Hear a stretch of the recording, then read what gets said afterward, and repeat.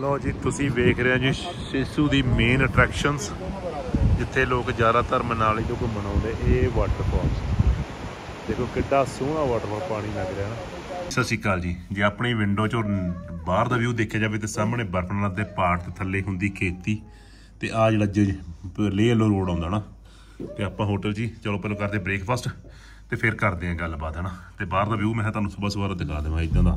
ਥੱਲੇ ਖੇਤੀ ਵੀ ਕਰੀ ਜਾਂਦੇ ਤੇ ਸਾਹਮਣੇ ਬਰਫ ਵਾਲੇ ਪਹਾੜ ਵੀ ਤੇ ਇੱਧਰ ਵੀ। ਜੇ ਬਾਹਰ ਦੇ ਵਿਊ ਦੀ ਗੱਲ ਕਰੀਏ ਤੇ ਆਪਣੇ ਹੋਟਲ ਤੋਂ ਬਾਹਰ ਖੜ ਕੇ ਇਦਾਂ ਦਾ ਵਿਊ ਸਾਹਮਣੇ ਇਹ ਨਦੀ, ਉੱਪਰ ਲੰਬਾ ਹਰਾ ਪਹਾੜ, ਉੱਚਾ ਤੇ ਇੱਧਰ ਬਰਫ ਵਾਲੇ ਪਹਾੜ ਤੇ ਇੱਧਰ ਇੱਕ ਤਿੱਖਾ ਪਹਾੜ। ਤੇ ਗੱਡੀ ਆਪਾਂ ਕਰਤੀ ਸਟਾਰਟ ਚੱਲਦੇ ਹਾਂਜੀ, ਆਪਾਂ ਹੋ ਗਏ ਜੀ ਰੈਡੀ ਸਾਰਿਆਂ ਨੂੰ, ਫਿਰ ਸਤਿ ਸ਼੍ਰੀ ਅਕਾਲ ਤੇ ਹੁਣ ਨਿਕਲ ਲੱਗੇ ਆਪਾਂ ਮਨਾਲੀ ਵੱਲ ਨੂੰ। ਜਿਸ ਪਾਸੇ ਰਾਤੀ ਆਪਾਂ ਰੁਕੇ ਤੇ ਅੱਜ ਆਪਣੇ ਇੰਡੀਆ ਟੂਰ ਦਾ ਹੈਗਾ 18ਵਾਂ ਦਿਨ ਹੈ ਨਾ ਤੇ ਮਗਰ ਦੀ ਲੋਕੇਸ਼ਨ ਗੱਡੀ ਦਾ ਬੁਰਾ ਹਾਲ ਦੇਖ ਲਓ। ਤੇ ਇੱਧਰ ਫੈਮਿਲੀ ਪੂਰੀ ਰਹਿ ਰਹੀ ਹੈ। ਸਰਗੀਤ ਵੀ ਉਹ ਜਵਾਕਾਂ ਨਾਲ ਖੇਡਦਾ ਫਿਰਦਾ। ਤੇ ਹੁਣ ਆਪਾਂ ਨਿਕਲਦੇ ਮਨਾਲੀ ਵੱਲ ਨੂੰ ਤੇ ਰਾਸਤੇ 'ਚ ਤੁਹਾਨੂੰ ਜਿਹੜੇ ਵੀ ਵਿਊ ਪੁਆਇੰਟ ਹੈਗੇ ਸਾਰੇ ਦਿਖਾਉਂਦੇ ਜਾਵਾਂਗੇ। ਸਿਸੂ, ਇੱਕ ਵਾਟਰਫਾਲ ਬਹੁਤ ਤਗੜਾ ਉਹ ਦਿਖਾਵਾਂਗੇ। ਹੋਰ ਵੀ ਜਿਹੜੀਆਂ ਵੀ ਲੋਕੇਸ਼ਨਾਂ ਹੋਈਆਂ। ਚੰਗੀਆਂ ਚੰਗੀਆਂ ਲੋਕੇਸ਼ਨਾਂ ਰੋਕ ਕੇ ਸਾਰੀਆਂ ਤੁਹਾਨੂੰ ਦਿਖਾਵਾਂਗੇ। ਤੇ ਜੁੜੇ ਰਹੋ ਬਲੌਗ ਦੇ ਨਾਲ। ਤੇ ਬਲੌਗ ਚੰਗੇ ਲੱਗੇ ਸ਼ੇਅਰ ਕਰ ਦਿਓ ਚੈਨਲ ਸਬਸਕ੍ਰਾਈਬ ਕਰ ਲਓ। ਤੇ ਮਿਲਦੇ ਆ ਫਿਰ ਤੁਹਾਨੂੰ ਅੱਜ ਮਨਾਲੀ ਜਾ ਕੇ ਹੋਟਲ ਦਾ ਨਾਮ, ਤੇ ਤੁਸੀਂ ਆ ਕੇ ਫੇਰ ਰਹਿ ਸਕਦੇ ਤੇ ਰਾਤ ਨੂੰ। ਖਾਸ ਕਰਕੇ ਜਦੋਂ ਲੇਹ ਵਾਲੇ ਸਾਈਡ ਤੋਂ ਆਉਣਾ ਪੈਂਦਾ, ਫਿਰ ਇਹ ਬੈਸਟ ਆ ਨਾ। ਤੇ ਰੇਟ ਵੀ ਜਾਇਜ਼ ਆ ਤੇ ਜਦੋਂ ਮਰਜ਼ੀ ਆ ਕੇ ਤੁਸੀਂ ਤੇ ਰਹਿ ਲਓ। ਲੋਕੇਸ਼ਨ ਚੰਗੀ ਆ, ਇੱਥੋਂ ਨਾਲ ਹੀ ਆ ਜਦੋਂ ਤੁਸੀਂ ਉਹ ਵੱਡਾ ਪੁਲ ਲੰਘੋਗੇ, ਉਸ ਤੋਂ ਬਾਅਦ 2-3 ਕਿਲੋਮੀਟਰ ਤੇ ਆ ਜਾਣਾ ਨਾਲ ਹੀ, ਇੱਧਰਲੇ ਪਾਸੇ ਆ ਦੇ ਲੋਕੇਸ਼ਨ ਲਾ ਕੇ ਵੀ ਆ ਸਕਦੇ ਨੈਟਵਰਕ ਹੈਗਾ ਇੱਥੇ। ਨੇ ਲਾਸਟ ਵਲੌਗ ਵੇਖਿਆ, ਉਹਨਾਂ ਨੂੰ ਪਤਾ ਆਪਾਂ ਆਏ ਹੋਏ ਸੀ ਜਿਸਪਾ ਰਾਤੀ ਪਹੁੰਚ ਗਏ ਸੀ ਲੇਹ ਤੋਂ। ਤੇ ਇਹ ਆ ਜਿਸਪਾ ਸ਼ਹਿਰ ਤੁਹਾਨੂੰ ਦਿਖਾਉਣਾ, ਇੱਥੇ ਹੋਟਲ ਵਗੈਰਾ ਤੁਹਾਨੂੰ ਕਾਫੀ ਮਿਲ ਜਾਣਗੇ ਤੁਸੀਂ ਰਹਿਣ ਦੀ ਕੋਈ ਦਿੱਕਤ ਨਹੀਂ ਕੈਂਪ ਲੈਣਾ ਕੈਂਪ ਲੈਣਾ ਹੋਟਲ ਲੈਣਾ ਹੋਟਲ ਲੈਣਾ। ਤੇ ਜ਼ਰੂਰ ਤੁਸੀਂ ਇੱਥੇ ਰਹਿ ਸਕਦੇ ਹੋ ਨਾ। ਤੇ ਬਾਕੀ ਲੋਕੇਸ਼ਨ ਸੋਹਣੀ, ਤੇ ਮੌਸਮ ਦੀ ਗੱਲ ਕਰੀਏ, ਬਾਹਰ 19 ਡਿਗਰੀ ਟੈਂਪਰੇਚਰ ਹੁੰਦਾ ਤੇ ਉੱਪਰੋਂ ਆ ਰਹੇ ਥੋੜੀ ਜਿਹੀ ਗਰਮੀ ਮਹਿਸੂਸ ਹੋ ਰਹੀ ਹੈ ਸਾਨੂੰ ਵੀ। ਹਨਾ? ਗੱਡੀ ਦੇ ਏਸੀ ਲਾਇਆ ਵਾ, ਕਿਉਂਕਿ ਉੱਤੋਂ ਮਹਿਨਸਾਂ ਦੇ ਵਿੱਚ ਆਏ ਆ ਤੇ ਅੱਜ ਥੋੜਾ ਜਿਹਾ ਲੱਗੂਗਾ ਕਿ ਗਰਮੀ ਜ਼ਿਆਦੀ ਹੈ ਨਾ, ਵੈਸੇ 19 ਡਿਗਰੀ ਕੋਈ ਜਿੱਦਾਂ ਜ਼ਿਆਦਾ ਵੀ ਨਹੀਂ ਹੁੰਦਾ। ਤੇ ਚਲੋ, ਚੱਲਦੇ, ਬਾਕੀ ਗੱਡੀ ਚੱਲੂਗੀ ਥੋੜਾ ਜਿਹਾ ਗਾਂਹ ਜਾ ਕੇ ਫ਼ਰਕ ਪਊਗਾ ਨਾ ਤੇ ਨਿਕਲਦੇ ਆਪਾਂ ਇਹ ਜਿਸਪਾ ਸ਼ਹਿਰ। ਸ਼ਹਿਰ ਨਹੀਂ ਥੋੜਾ ਜਿਹਾ ਕਸਬਾ ਜਿਹਾ ਲਾ ਲਓ, ਪਿੰਡ ਜੇ ਟੈਪ ਪਰ ਹੋਟਲ ਵਗੈਰਾ ਵਾਧੂ ਇੱਥੇ ਤੁਹਾਨੂੰ। ਚੰਗੇ ਮਿਲ ਜਾਣਗੇ। ਸਾਹਮਣੇ ਇੱਕ ਵੇਖੋ, ਸੋਹਣੀ ਜੀ ਲੋਕੇਸ਼ਨ ਹਨਾ? ਇੱਥੇ ਬਾਵਾ ਟਾਈਮ ਦੀ ਗੱਲ ਪਹਿਲਾਂ ਆਪਾਂ ਇੱਥੇ 1 ਸਾਲ ਪਹਿਲਾਂ ਕੈਂਪ ਵੀ ਕਰਕੇ ਗਏ ਸੀ ਉਹ ਤੁਹਾਨੂੰ ਮੈਂ ਉਹ ਵੀ ਕੈਂਪ ਵੀ ਦਿਖਾਵਾਂ ਕਿੱਥੇ ਰੁਕੇ ਸੀ ਤੇ ਜੇ ਅਟਲ ਟਨਲ ਦੀ ਗੱਲ ਕਰੀਏ 58 ਕਿਲੋਮੀਟਰ ਆ, ਮਨਾਲੀ 91 ਆ ਤੇ ਕੁੱਲੂ 133 ਆ ਤੇ ਚੰਡੀਗੜ੍ਹ ਨੀਅਰ ਅਬਾਊਟ 390 ਕਿਲੋਮੀਟਰ ਹੈ ਨਾ ਚਲੋ ਨਿਕਲਦੇ ਹੁਣ ਆਪਾਂ ਮਨਾਲੀ ਵੱਲ ਨੂੰ। ਥੱਲੇ ਤੋਂ ਥੱਲੇ ਜਾ ਕੇ ਆਪਾਂ ਕੈਂਪ ਕੀਤੀ ਸੀ ਤੋਂ ਥੱਲੇ। ਇੱਧਰ ਪਿੱਛੇ ਰਹਿ ਕੇ ਕੈਂਪ ਆ ਜਿਹੜੇ ਆ ਇਧਰ ਉੱਤਰ ਵੀ ਕੈਂਪ ਹੈਗੇ, ਇੱਥੇ ਆਪਾਂ ਕੈਂਪਿੰਗ ਕਰਕੇ ਆਏ ਜੋ ਸਾਲੇ ਕੇ ਪਹਿਲਾਂ। ਆਪਾਂ ਨੂੰ ਜਿਉਂ ਆਪਾਂ ਸੋਨਮਾਰਗ ਤੋਂ ਬਰਫ਼ ਵੇਖਣੀ ਸ਼ੁਰੂ ਕੀਤੀ ਸੀ ਸ਼੍ਰੀਨਗਰ, ਹਨਾ? ਤੇ ਬਰਫ਼ ਅਜੇ ਤੱਕ ਆਪਣਾ ਪਿੱਛਾ ਨਹੀਂ ਛੱਡ ਰਹੀ। ਦੇਖੋ ਸਾਹਮਣੇ ਵੀ ਪਹਾੜਾਂ ਦੇ ਉੱਤੇ ਕਿੰਨੀ ਕਿੰਨੀ ਬਰਫ਼, ਪਰ ਇੱਥੇ ਇੰਨਾ ਕਿ ਇਸ ਪਾਸੇ ਰੋਡ ਤੇ ਨਹੀਂ ਮਿਲਦੀ। ਤੇ ਇੱਕ ਚੀਜ਼ ਹੋਰ, ਇਹਦਾ ਐਲਟੀਟਿਊਡ ਜਿਹੜਾ ਹੁਣ 10000 ਤੋਂ ਥੱਲੇ ਆ ਗਿਆ ਤੇ ਇੱਥੇ ਮੋਸਟਲੀ ਜਿਹੜੇ ਜੰਨੇ ਆ ਕਿ ਦਰਖਤ ਹੋਣੇ ਸ਼ੁਰੂ ਹੋ ਗਏ ਹੁਣ ਸਾਹ ਦੀ ਕੋਈ ਦਿੱਕਤ ਨਹੀਂ ਨਾ ਸਿਰ ਤੇ ਹੋਊਗਾ। ਹੁਣ ਤੁਸੀਂ ਸੌਖੇ ਈਜ਼ੀਲੀ ਟਰੈਵਲ ਕਰ ਸਕਦੇ ਮਤਲਬ ਜਿੱਥੇ ਜ਼ਿਆਦਾਤਰ ਉੱਥੇ ਸਾਹ ਦੀ ਦਿੱਕਤ ਹੁੰਦੀ ਆ ਜਿੱਥੇ ਦਰਖਤ ਨਹੀਂ ਹੁੰਦੇ ਇੱਥੇ ਆਪਾਂ ਦਰਖਤਾਂ ਦੇ ਵਿੱਚ ਹੈਗੇ ਆ ਤੇ ਹੌਲੀ ਹੌਲੀ ਉਹਨੂੰ ਵਾਟ ਨੂੰ ਨਵੇੜਦੇ ਨਾਲੇ ਸੋਹਣੀ ਸੋਹਣੀ ਲੋਕੇਸ਼ਨਾਂ ਤੁਹਾਨੂੰ ਦਿਖਾਉਂਦੇ ਜਾਵਾਂਗੇ। ਤੇ ਜੁੜੇ ਰਹੋ ਮਨਦੀਪ ਜ਼ੀਰਾ ਵਲੌਗ ਦੇ ਨਾਲ ਚੈਨਲ ਨੂੰ ਸਬਸਕ੍ਰਾਈਬ ਜ਼ਰੂਰ ਕਰਕੇ ਰੱਖੋ ਤੇ ਇਦਾਂ ਦੇ ਵਲੌਗ ਦੇਖਣ ਲਈ ਵਧੀਆ ਵਧੀਆ ਨਾ। ਤੇ ਚਲੋ ਚੱਲਦੇ ਫਿਰ ਅੱਗੇ ਆਪਾਂ ਹੌਲੀ ਹੌਲੀ ਲੋ ਜੀ ਇਹ ਵੀ ਕੈਂਪ ਕਰਨ ਲੱਗੇ ਆ ਜਾ ਰਹੇ ਨਾ ਬਣਾਉਣ ਨੂੰ ਲੱਗੇ ਕੁਝ ਲੀੜੇ ਕੱਪੜੇ ਵੀ ਸੁੱਕਣੇ ਪਾਈ ਬੈਠੇ ਆ ਉਹਦੇ ਗੱਡੀਆਂ ਦਿੱਲੀ ਦੀਆਂ ਤੇ ਸਾਹਮਣੇ ਚੋਟੀਆਂ ਤੇ ਪਈ ਬਰਫ਼ ਤੇ ਸੋਹਣੇ ਸੋਹਣੇ ਬੱਦਲ। ਸਾਹਮਣੇ ਇੱਕ ਸਕੂਟਰੀ ਜਾ ਰਹੀ ਹੈ ਆ ਮੋਟਰਸਾਈਕਲ ਤੋਂ ਅਗਲੇ ਬੰਨੇ, ਹਨਾ? ਇਹ ਕੱਲ ਵੀ ਜਿਹਨਾਂ ਨੇ ਪਿਛਲਾ ਵਲੌਗ ਵੇਖਿਆ, ਉਹਨਾਂ ਨੂੰ ਵੀ ਆਪਾਂ ਦਿਖਾਈ ਸੀ, ਇਹ ਵੈਸਟ ਬੰਗਾਲ ਤੋਂ ਆਈ ਹੈ। West Bengal means Calcutta. Calcutta ਜਿਹਨੇ ਗੁਹਾਟੀ ਸੁਣਿਆ ਹੋਣਾ, ਉਧਰਲੀ ਸਾਈਡ ਤੋਂ ਨਾ ਗੁਹਾਟੀ, ਮੰਨ ਲਓ ਪੰਜਾਬ ਤੋਂ ਬਹੁਤ ਦੂਰ ਆ, ਉਸ ਏਰੀਆ ਦੇ ਵਿੱਚ ਸਕੂਟਰੀ ਤੇ ਹੈ। ਤੇ ਦੇਖ ਲਓ, ਹਨਾ? ਜਜ਼ਬਾ ਹੀ ਆ, ਘੁੰਮਣ ਦਾ ਇਹਨਾਂ ਦੀ ਮੋਟਰਸਾਈਕਲ ਤਾਂ ਚਲੋ ਠੀਕ ਹੈ ਮੈਂ ਸਕੂਟਰੀ ਖਿੱਚੀ ਫਿਰਦਾ। ਇਹ ਹੈ ਜੀ ਸਕੂਟਰੀ ਦੇਖ ਲਓ ਵੈਸਟ ਬੰਗਾਲ ਦਾ ਨੰਬਰ ਵੀ ਹੋਵੇਗਾ WB ਲੋ ਜੀ ਆਪਾਂ ਪਹੁੰਚ ਗਏ ਕੇਲੌਂਗ ਹਨਾ? ਕੇਲੌਂਗ ਵੀ ਤੁਹਾਨੂੰ ਜੇ ਤੁਸੀਂ ਜਿਸਪਾ ਨਹੀਂ ਰਹਿਣਾ ਕੇਲੌਂਗ ਵੀ ਵਾਧੂ ਹੋਮ ਸਟੇ ਹੋਟਲ ਵਗੈਰਾ ਸਾਰੇ ਮਿਲ ਜਾਣਗੇ ਨਾ। ਕਲੌਂਗ ਕਲੌਂਗ ਦੇ ਇੱਕ ਪੈਟਰੋਲ ਪੰਪ ਟਾਂਡੀ ਆਉਣ ਵਾਲਾ ਬਸ। ਜਿੱਥੋਂ ਆਪਾਂ ਇਧਰੋਂ ਮਨਾ ਮਨਾਲੀ ਵੱਲੋਂ ਜਾਈਏ ਪਹਿਲਾ ਪੰਪ ਚੀਜ਼ੀਆਂ। ਨਾ ਚੀਜ਼ੀਆਂ ਚੀਜ਼ੀਆਂ ਵੇਖ ਤੇਰਾ ਕਿੱਡਾ ਦਿਲ ਤੇਰਾ ਹਿੱਲਦਾ ਹਨਾ? ਇੰਨੀਆਂ ਚੀਜ਼ੀਆਂ ਨਹੀਂ ਖਾਈਦੀਆਂ ਹੁੰਦੀਆਂ? ਇੰਨੀਆਂ ਚੀਜ਼ਾਂ ਥੋੜੀਆਂ ਖਾਈ ਦੀਆਂ ਹੈ? ਥੋੜੀਆਂ ਖਾਈ ਥੋੜੀਆਂ ਚੀਜ਼ੀਆਂ ਖਾਈਦੀਆਂ। ਦਰਅਸਲ ਆਪਾਂ ਕਲੌਂਗ ਪਹੁੰਚ ਗਏ ਨਾ ਇੱਥੇ ਗੱਲ ਕਰ ਰਹੇ ਸੀ ਆ ਪੈਟਰੋਲ ਪੰਪ ਤੇ ਨਾ। ਚੀਜ਼ਾਂ ਖਾਈ ਦੀਆਂ ਚੀ ਬਸ ਕਰ ਹੁਣ ਇੰਨੀਆਂ ਚੀਜ਼ਾਂ ਖਾ ਕੇ ਕਿਤੇ ਜਾਣਾ। ਤੇ ਕਿਲੋ ਨਹੀਂ। ਓਹੋ ਗੱਲ ਕਰ ਰਹੇ ਪੁੱਤ ਪਾਪਾ ਨੂੰ ਗੱਲ ਕਰ ਰਹੇ ਆਪਾਂ ਜਦੋਂ ਮਨਾਲੀ ਵੱਲ ਜਾਂਦੇ ਨੇ ਟਾਂਡੀ ਆਉਂਦਾ ਟਾਂਡੀ ਕਲੌਂਗ। ਇੱਥੇ ਪੰਪ ਉਹਦਾ ਫਿਰ ਸਿੱਧਾ ਜਾ ਕੇ ਲੇਹ ਤੋਂ 40 ਕਿਲੋਮੀਟਰ ਪਹਿਲਾਂ ਆਉਂਦਾ ਜਾਨੀ ਕਿ ਕਹਿਣ ਦਾ ਮਤਲਬ ਆ ਜਿਹੜੇ ਤੁਸੀਂ ਲੇਹ ਜਾ ਰਹੇ ਹੋ ਇਧਰੋਂ ਡੀਜ਼ਲ ਦਾ ਟੈਂਕੀ ਫੁੱਲ ਕਰਕੇ ਜਾਓ ਨਹੀਂ ਤਾਂ ਰਾਹ 'ਚ ਦਿੱਕਤ ਹੋਊਗੀ ਤੁਹਾਨੂੰ ਹਨਾ?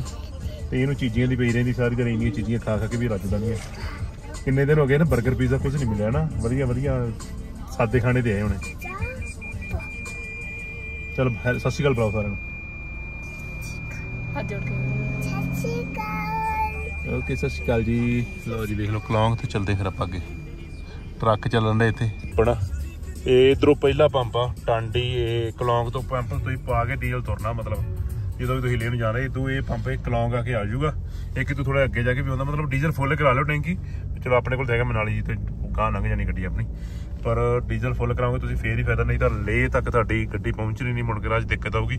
ਰਸਤੇ 'ਚ ਢਾਬੇ ਤੋਂ ਡੀਜ਼ਲ ਮਿਲ ਜਾਂਦਾ, ਪਰ ਉਹ ਮਿਕਸ ਵਿੱਚ ਨਾ ਪਤਾ ਨਹੀਂ ਕੀ ਪਾਉਂਦੇ ਪੁੰਦੇ ਇਹਦੇ।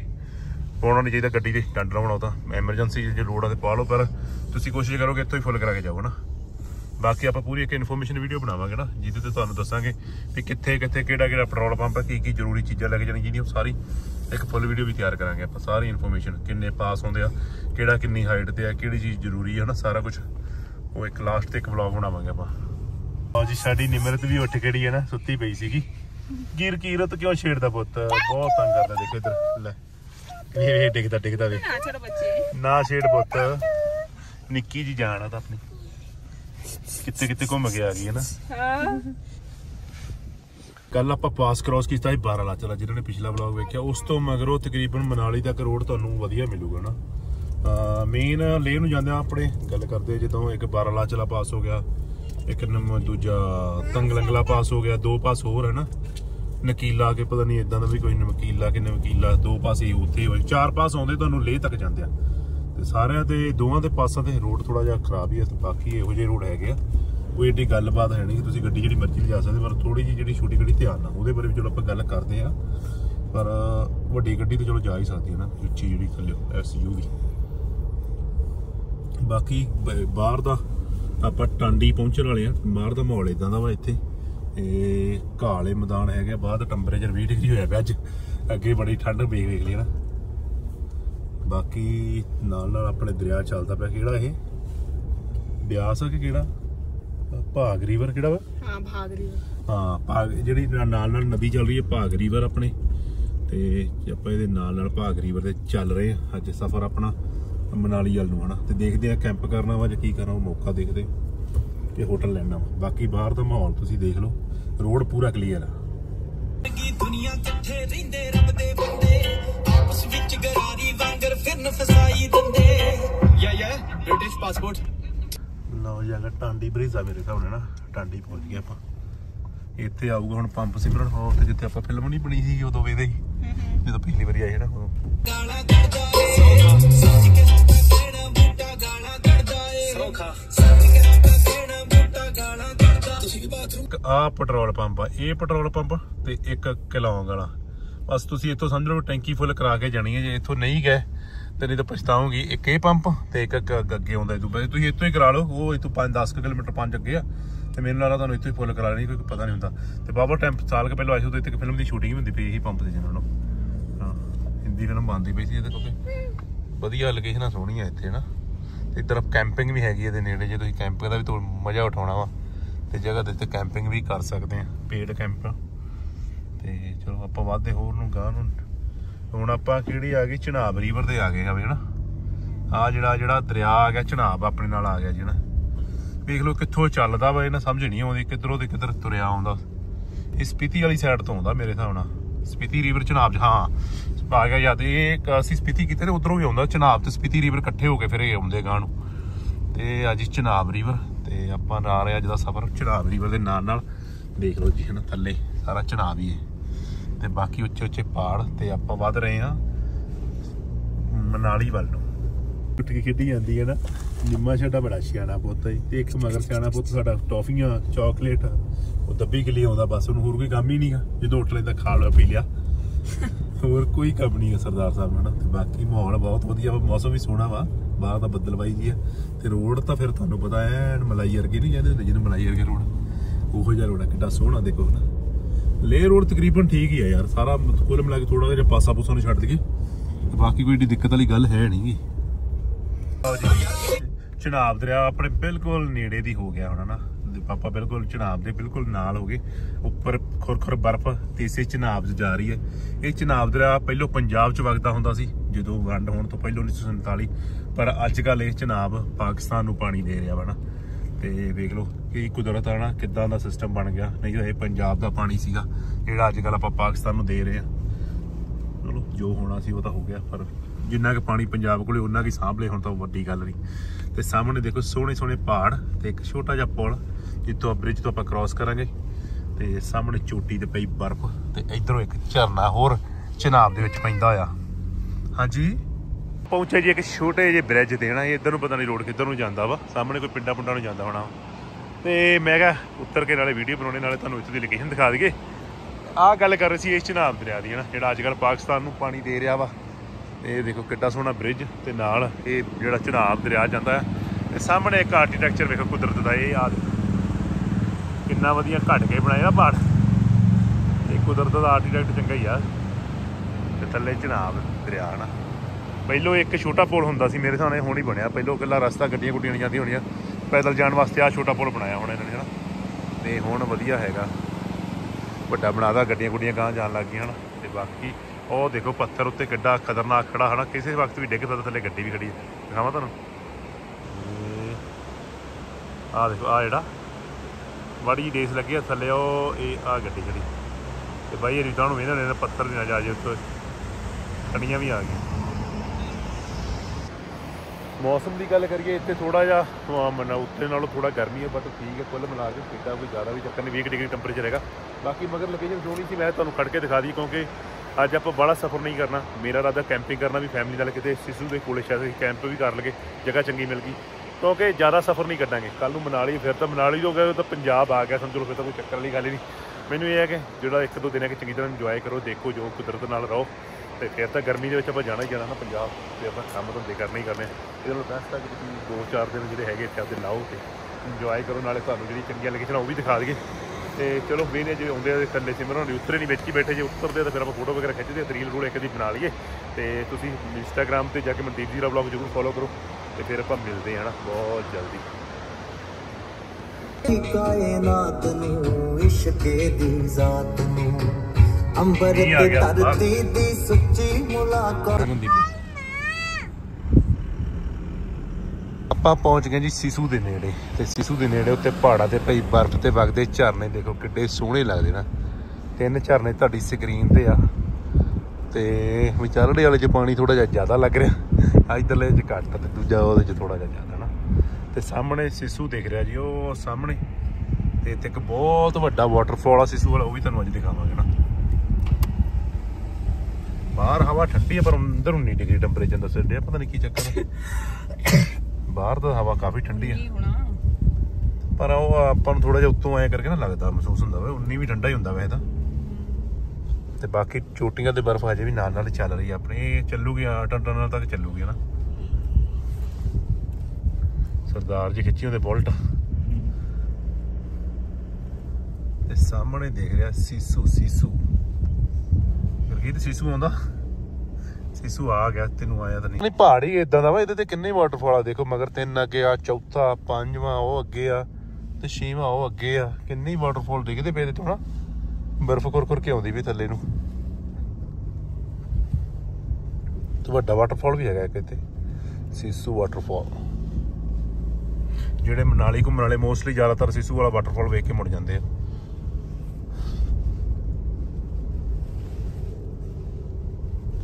ਇਹ ਦੇਖ ਲਓ ਜੀ, ਇੱਧਰ ਵਾਟਰਫਾਲ ਤੇ ਸਾਹਮਣੇ, ਝੂਟੀਆਂ ਤੇ ਪਈ ਬਰਫ਼। ਇਧਰਲੀ ਤੇ ਜਿਆਦੀ ਉਹ ਜਿਹੜੀ ਸਾਹਮਣੇ ਦਿਖ ਰਹੀ, ਸ਼ੀਸ਼ੇ ਦੇ ਉੱਤੇ ਆ ਗਈ, ਇਹ ਹੁਣ ਦੇਖੋ।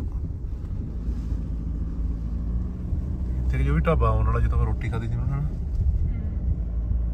ਬਹੁਤ ਟਾਈਮ ਹੋ ਗਿਆ ਪਹਿਲਾਂ ਆਏ ਸੀ ਜਦੋਂ ਅਸੀਂ। ਵੇਖ ਲਓ, ਹੋਰ ਸਿਸੂ ਵਾਲੇ ਝਰਨੇ, ਹਨਾ? ਆਹ ਪਹਾੜ ਦਾ ਜਿੰਨੇ ਦਾ ਝਰਨਿਆਂ ਦੀ ਪਦੈਸ਼ ਹੀ ਆ, ਮੈਨੂੰ ਨਾ ਪੂਰੇ ਝਰਨੇ ਆਉਂਦੇ ਇਹਦੇ ਤੇ। ਕਿੰਨਾ ਸੋਹਣਾ ਲੱਗਦਾ ਨਾ ਬਰੀਕ ਬਰੀਕ ਜੇ। ਗਰਗੀਤ ਦੇ ਕਹਿੰਦਾ ਕੀੜੀਆਂ ਨੇ ਇਹਦਾ ਲਾਈਨ ਬਣਾਈ ਹੁੰਦੀ। ਜਾ ਕਾਲੀ ਸਾਹਮਣੇ ਲੱਗ ਗਿਆ ਗਿਆ ਟ੍ਰੈਫਿਕ ਹੈ ਨਾ ਤੇ ਆਪਾਂ ਤੁਹਾਨੂੰ ਦੋ ਇਹ ਦੋ ਬੈਸਟ ਆ ਕਿ ਹੁਣ ਰੋਕ ਕੇ ਝਰਨੇ ਦਿਖਾਵਾਂਗੇ। ਪਿੱਛੇ ਵੀ ਦਿਖਾ ਰਹੇ ਤੇ ਸਾਹਮਣੇ ਕਿਵੇਂ ਲੈਣਾ ਬਣੀ ਹੁੰਦੀ ਥੋੜਾ ਜ਼ੂਮ ਕਰਕੇ ਦਿਖਾਵਾਂ। ਇਹ ਆ ਦੇਖੋ। ਦੇਖੋ ਕਿੰਨੇ ਝਰਨੇ ਹੀ ਝਰਨੇ ਹਨ? ਬਰੀਕ ਬਰੀਕ ਲੈਣਾ ਮਗਰ ਵੀ ਬਹੁਤ ਸੀ ਉਹ। ਪਹਾੜ ਪੂਰਾ ਝਰਨੇ ਵਾਲਾ ਹੀ ਹੈ ਸਾਹਮਣੇ ਸਕਰੀਨ ਤੇ ਜਿਹੜਾ ਤੁਸੀਂ ਹੋਟਲ ਵੇਖ ਰਹੇ ਹੋ ਨਾ ਪੀਕ ਵਿਊ ਇਹਦੇ 'ਚ ਆਪਾਂ ਦੋ ਤਿੰਨ ਵਾਰੀ ਰੋਟੀ ਖਾਧੀ ਜਦੋਂ ਵੀ ਮਤਲਬ ਵਧੀਆ ਰੋਟੀ ਰੋਟੀ ਵਧੀਆ ਬਣਾਉਂਦੇ ਇਹ। ਔਰਲੇ ਬੰਨੇ ਨੂੰ ਨਵੇਂ ਬਣਾਤੇ ਕਮਰੇ ਇਧਰਲੇ ਬੰਨੇ ਆ। ਤੇ ਸਿਸੂ ਆ ਰਿਹਾ ਸਾਹਮਣੇ ਆਪਣੇ। ਸਿਸੂ ਦੂਜੇ ਵਾਲਾ ਸਿਸੂ ਨਾ ਸਮਝ ਲਿਓ ਕੋਈ। ਸਿਸੂ ਸ਼ਹਿਰ ਦਾ ਨਾਮ ਹੈ, ਇੱਕ ਛੋਟਾ ਜਿਹਾ ਤੇ ਕਸਬਾ ਜਾਏਗਾ ਵਾ। ਸਾਹਮਣੇ ਦਿਖਾਉਣੇ ਤੁਹਾਨੂੰ ਸਿਸੂ। ਸਿਸੂ ਦੀ ਮੇਨ ਅਟਰੈਕਸ਼ਨਸ ਜਿਹੜੀ ਹੈਗੀ ਨਾ, ਉਹ ਸਾਹਮਣੇ ਵਾਟਰਫਾਲ ਇਹ ਮੇਨ ਵਾਟਰਫਾਲ ਕਰਕੇ ਇੱਥੇ ਸਿਸੂ ਆਉਂਦੇ ਲੋਕ। ਤੇ ਚਲੋ ਆਪਾਂ ਵੀ ਚੱਲਦੇ ਨੇੜੇ, ਤੁਹਾਨੂੰ ਦਿਖਾਉਣੇ ਨੇੜਿਓ। ਲਓ ਜੀ, ਤੁਸੀਂ ਵੇਖ ਰਹੇ ਹੋ ਜੀ, ਸਿਸੂ ਦੀ ਮੇਨ ਅਟਰੈਕਸ਼ਨਸ ਜਿੱਥੇ ਲੋਕ ਜ਼ਿਆਦਾਤਰ ਮਨਾਲੀ ਤੋਂ ਘੁੰਮਣ ਆਉਂਦੇ, ਇਹ ਵਾਟਰਫਾਲ ਦੇਖੋ ਕਿੱਡਾ ਸੋਹਣਾ ਵਾਟਰਫਾਲ ਪਾਣੀ ਲੱਗ ਰਿਹਾ ਨਾ। ਇਹਦਾ ਟਰੈਕ ਵੀ ਹੈਗਾ ਜੇ ਨੇੜੇ ਜਾਣਾ ਤੇ। ਪਾਣੀ ਦੇਖੋ ਕਿੱਡਾ ਸੋਹਣਾ ਲੱਗਦਾ ਹੈ ਨਾ। ਦੇਖੀ ਤੇ ਵੀਡੀਓ 'ਚ ਕਿੱਡਾ ਸੋਹਣਾ ਪਾਣੀ ਲੱਗਦਾ। ਦਿਖਦਾ ਪਿਆ। ਵੀਡੀਓ ਨਿੱਕੀ ਸਾਡੀ ਨਿਮਰਤ ਪਹੁੰਚੀ ਆ ਜੀ ਸੀਸੂ ਵਾਟਰਫਾਲ ਤੇ। ਖੜ ਜਾ ਇੱਕ ਮਿੰਟ। ਹਾਂ ਹੁਣ। ਨਿਮਰਤ ਸਾਡੀ ਪਹੁੰਚੀ ਆ ਜੀ ਵਾਟਰਫਾਲ ਤੇ ਥੱਲੇ ਨਦੀ। ਆ ਵੀ ਕੰਮ ਚੱਲਦਾ ਇੱਥੇ।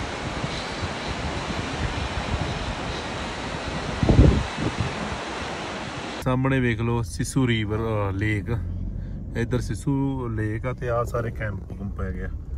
ਜੇ ਤੁਸੀਂ ਆਪਦਾ ਇੱਥੇ ਰਹਿਣਾ, ਬੈਠਣਾ, ਤੁਹਾਨੂੰ ਕੈਂਪ ਮਿਲ ਜਾਣਗੇ, ਰਾਤ ਰਹਿਣਾ ਉਹਦੇ ਰਾਤ ਵੀ ਰਹਿ ਸਕਦੇ ਆ। ਤੇ ਬਾਕੀ ਆਪਾਂ ਉੱਤੇ ਬੜਾ ਕੁਝ ਵੇਖ ਕੇ ਆਏ, ਫਿੱਕਾ ਫਿੱਕਾ ਜਿਹਾ ਲੱਗਣ ਲਿਆ ਸਾਨੂੰ।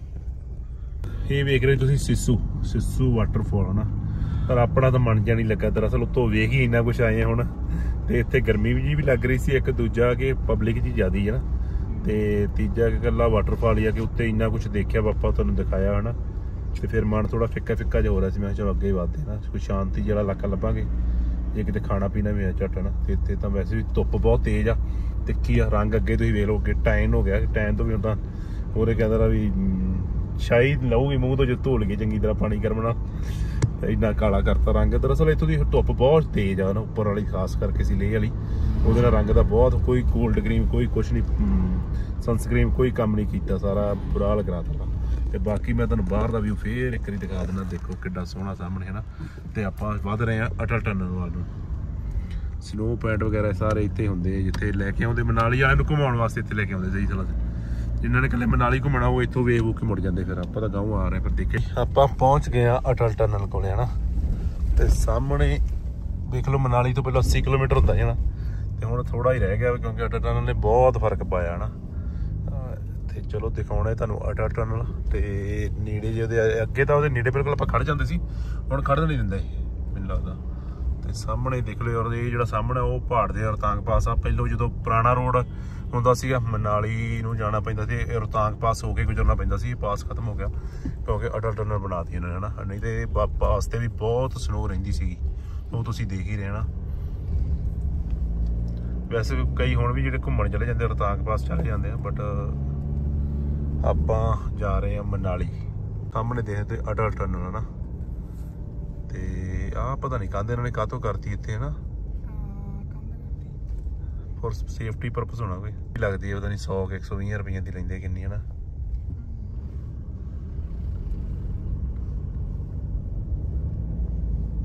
ਆਪਾਂ ਉਧਰੋਂ ਆ ਰਹੇ ਇਸ ਕਰਕੇ ਆਪਣੀ ਕੋਈ ਟਿਕਟ ਨਹੀਂ ਲੱਗਣੀ ਐਂਟਰੀਆਂ ਬਹੁਤ ਆ ਮਨਾਲੀ ਦੀਆਂ ਵੀ।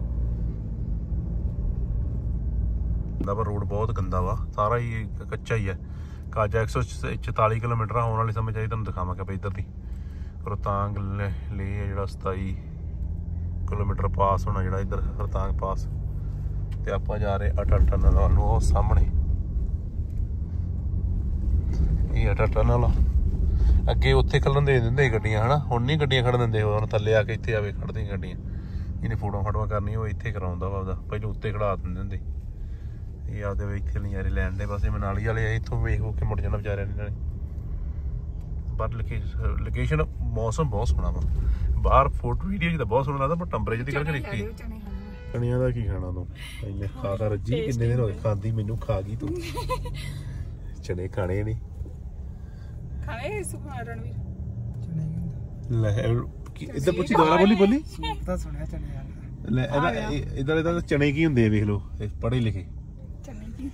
ਆਹੋ ਪੜੇ ਲਿਖੇ ਅਨਪੜ ਬਣੇ ਆ ਬਸ ਲੱਗਦਾ ਹੁਣ ਯਾਰ ਮੈਂ ਗੱਡੀ ਕਿਤੇ ਸਾਈਡ ਤੇ ਲਾਉਂਗਾ ਨਾ ਵਿਚਾਲੇ ਥੋੜਾ ਲਾਵਾਂ।